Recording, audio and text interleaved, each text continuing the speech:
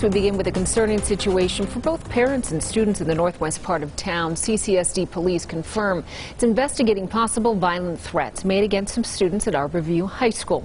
It's located near Buffalo and Grand Teton in Centennial Hills. Hector Mejia is reporting live outside the campus with the latest from authorities. Hector? Kirsten, a very visible presence from both CCSD and Metro Police circling Arbor View High School here throughout the morning. And since the school notified parents about that violent threat, many of them have been showing up to pull their kids from school this morning. One mother shared with us the voicemail she received from school administrators earlier today. We are aware of a social media account that includes racial comments and possible threatening messaging.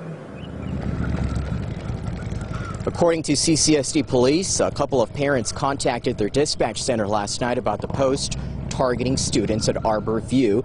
Metro Police and the Fusion Center are now helping them chase leads. At this point, however, school police cannot say whether the post is credible or not because they say it's still early in their investigation. One parent said the threat targets black students here. Another parent we talked with is now wondering how she'll explain this to her special needs child how do I even start that conversation with him? He, we just accept everybody. He has friends of every color, every race. We've we never had that issue with that in our household. And now I have to go and explain to him that some kids at school don't like him because of the shade of his skin.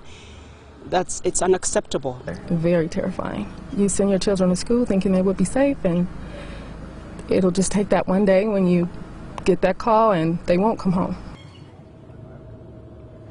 The school principal is asking parents and students to share any information they may have on the post or the source of the social media account. And parents are also encouraged to reach out to the district through their Safe Voice tip line. Reporting live this afternoon, Hector Mejia, 8 News Now.